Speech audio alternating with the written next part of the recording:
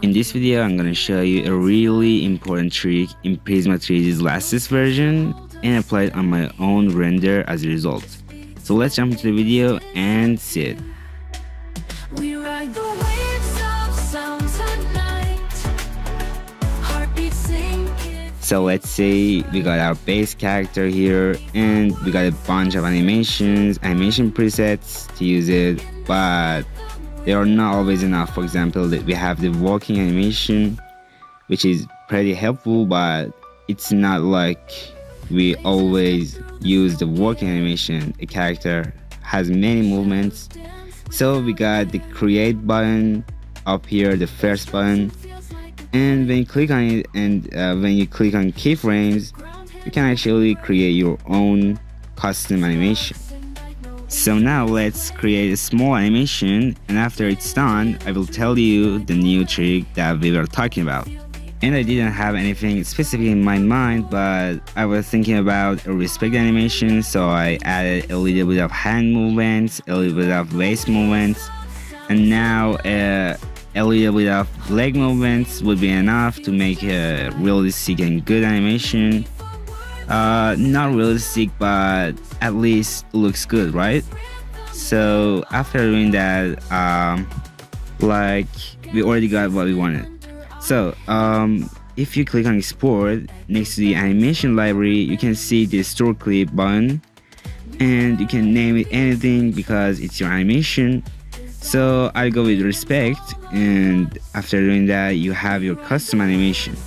So what does that mean actually? So if you have a character in Prisma 3D rigs, like I'm gonna show you how to create those Prisma 3D rigs. And after getting your suitable character for that, you can save your commonly used animations uh, and save a lot of time. And it's really important about uh, humanoid characters. So I have this Mida character and I want to delete the bones because I can't use it. I can use those animations like this. And I will use the other rig and I will place these bones. So I will have a character rig for my Mida character. And I will click apply and wait a bit. And finally we got our rig uh, in Mida's character. And if you click create you will see we got our animations and our respect animation is also here. And here we go. As i said really nice. Wait.